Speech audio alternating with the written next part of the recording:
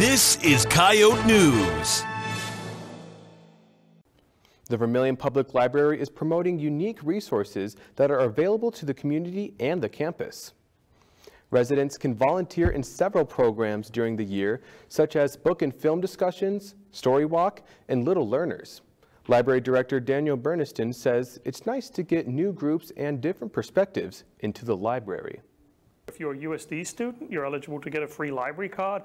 All you need to do is bring down your student ID and some form of proof of address, either your driver's license or if you have like a lease agreement or something showing your dorm address.